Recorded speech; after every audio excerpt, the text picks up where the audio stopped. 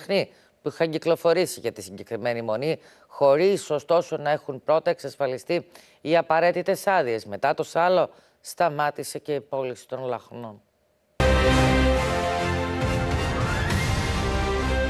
Ευθύνες στον Δήμο Αγίας Νάπας επιρρύπτει το Υπουργείο Εσωτερικών για την ανέγερση ναού σε περιοχή Νατούρα στο Κάβο Γκρέκο, διαβεβαιώνοντας άπαντες δια του Γενικού Διευθυντή του Υπουργείου πως οι διαδικασίες μέσω της δικαστικής οδού για άση της παρανομίας θα συνεχιστούν. Δεν πρόκειται να σταματήσουμε εμείς εδώ. Όσα νομικά μέσα έχουμε θα τα εξαντλήσουμε με τη βοήθεια και της νομικής υπηρεσίας προκειμένου αυτό το, αυτό το κακό παράδειγμα να αποφευχθεί. Ο Υπουργός Εσωτερικών επικοινώνησε με τον Μητροπολίτη Κωνσταντίας και του, ο οποίος φέρεται να του υποσχέθηκε κατεδάφιση και αποκατάσταση του χώρου. Είναι πραγματικά τραγικό γιατί δεν μπορεί, δεν μπορεί η ίδια η Εκκλησία να παρανομεί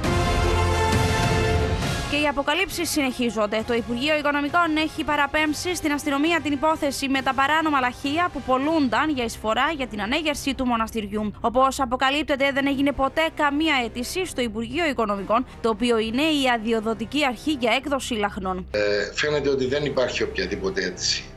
Ε, για να εκδοθεί άδεια στον εκδότη αυτού του λαχείου, ο οποίος όπως φαίνεται στο λαχείο ε, δεν ε, καθορίζεται κιόλας. Ω δώρο, μάλιστα, αν λόγω λαχνός είχε ένα χρυσό μεταγιόν του Αγίου Χριστοφόρου αξίας 1.500 ευρώ και η κλήρωση θα γινόταν στις 7 Μαου, ανήμερα της Τρίτης του Πάσχα.